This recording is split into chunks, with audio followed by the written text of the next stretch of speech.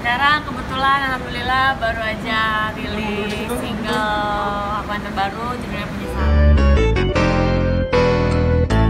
Sekarang sih ada kegiatan tambahan. Eh, sekarang sih masih kayak apa namanya masih program-program yang udah berjalan terus kayak off air on air yang gitu masih yang gitu-gitu aja ya, makin ya makin hari pastinya kerjanya makin nyaman makin berasa kekeluargaan Maaf, nggak dilirik diliatin gue tiap hari. Tiap malam bukan dilirik doang.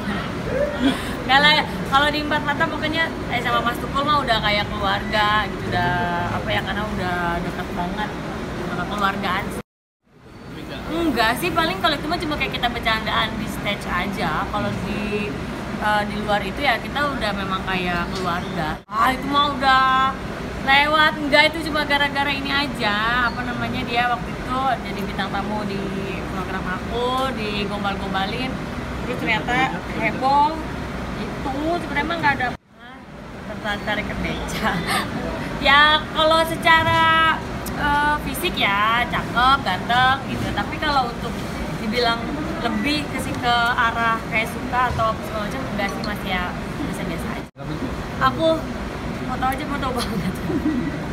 ya ada lah nanti kalau misalkan udah official pasti nanti aku publish, aku posting gitu. Kalau sekarang ya Valentine ada ngasih bunga, ngasih coklat tadi aja di dalam juga.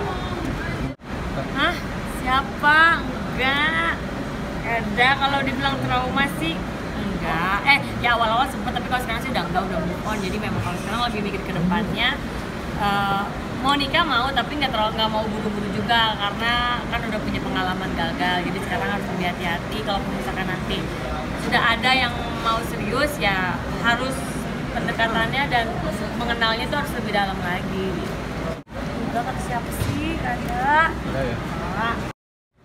Ya paling kalau keluarga sih cuma ngeledek aja. Ayo dong gitu. Dari Wika nih belum belum ya belum dapat cucu dari Wika gitu. Tapi nggak yang ayo besok ayo besok. Nggak gitu. Lebih kayak keluarga sih ya santai aja. Gimana aku aja yang penting yang terbaik untuk anaknya jadi jangan sampai eh, kegagalan terulang lagi ya kalau kriteria apa kayaknya standar lah. Semua orang juga pasti pengen yang baik yang tanggung jawab yang sayang yang bisa membimbing kita ke hal-hal yang baik.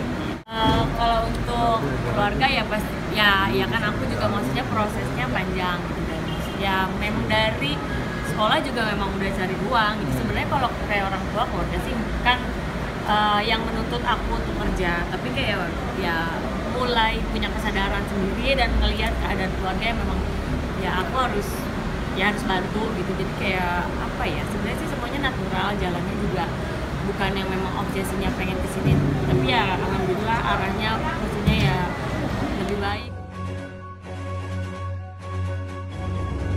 Baik lebih baik dan alhamdulillah sekarang juga udah bisa